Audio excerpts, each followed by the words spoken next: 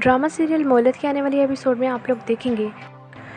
तलहत माहम से ये कहती है, आखिर बता दो ये सलीमान है कौन? क्यों फिरती हो तुम इसके साथ? जिसके बाद माहम एकदम से खामोश हो जाती है और उल्टा अपनी सास को कहती है, आप मुझ पर इल्ज़ाम लगा रही हैं, आपको शर्म आनी चाहिए।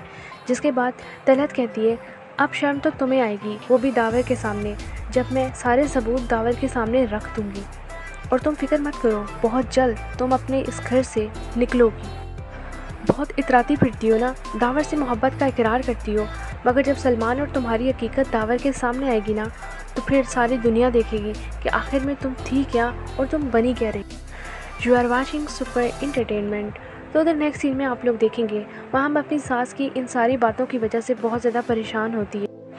तो दूसरी तरफ़, माहम की सास, माहम और सलमान दोनों के ख़िलाफ़ सबूत इकट्ठे कर रही है, जो कि वो अपने बेटे दावर को दिखाएगी, ताकि वो माहम जैसी तेज़ और मकार लड़की से दावर का पीछा छुड़ा सके।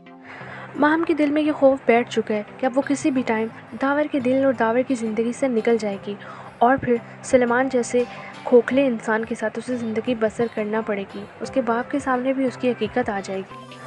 मगर महम अपनी सास के सामने साबित कदम रहती है और ज़बान उसी तरह से चलाती है जैसे वो शुरू से चलाती आ रही किसी हद तक तलक कामयाब हो भी चुकी है। माहम और सलमान दोनों के खिलाफ सबूत इकट्ठे करने में। सो व्यूअर्स, ये सब कुछ आप आने वाले एपिसोड में देखेंगे। हमारे चैनल सुपर एंटरटेनमेंट को जल्दी से सब्सक्राइब कर लीजिए ताकि मज़ीद आप वीडियोस देख सकें।